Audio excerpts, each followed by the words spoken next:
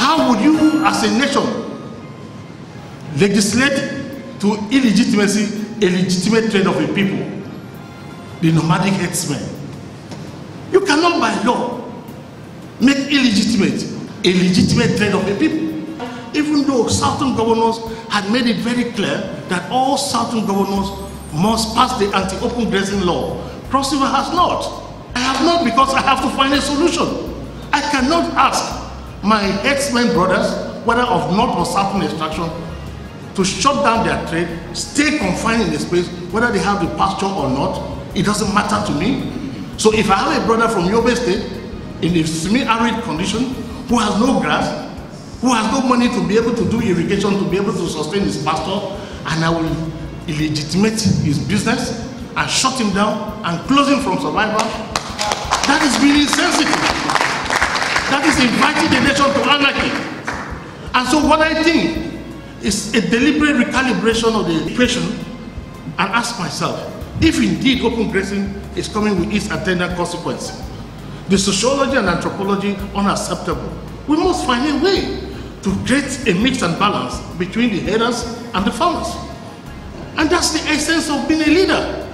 So before I passed the Cross River law, I decided to pull back and find a solution. And that's why in Cross River, we're coming with an open grazing management law. Not a prohibition.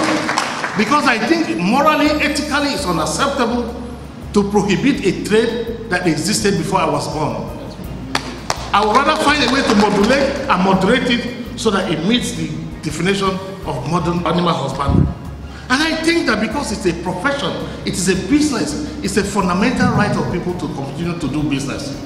Unfortunately, because of the social imbalance, because of the associated pressure, because of demographic explosion, because of economic growth, most farmlands have been taken for infrastructural development. So there's a constriction. The 923,000 square kilometers of land of Nigeria is not going to expand. But development is expanding and taking up all the space. So you're bound to have pressure. It's our duty as government to find a solution. And that's why I am shocked that Opaland could identify this essential, critical, God approach to governance. If we pass such a draconian law, and on the other side, they pass their own draconian law, and we pass another, gradually we're getting into war. But I'm a conformist. I belong to the Southern Governors Forum. So they say pass the law. I will pass the law. But by the time my law is out, you see that the law comes with concern for both parties. Ompaland supports the action of certain governors to enact anti-open grazing laws, except that they should have first worked out an acceptable modus vivendi for herders domiciled in their states. In contrast to paddock measures adopted by his peers, His Excellency Professor Benedict Ayade has made a distinctive achievement through the production of a rare regenerative organic grass called the king grass that grows more than two meters within 45 days of planting, with the ability to regenerate even faster when it is caught.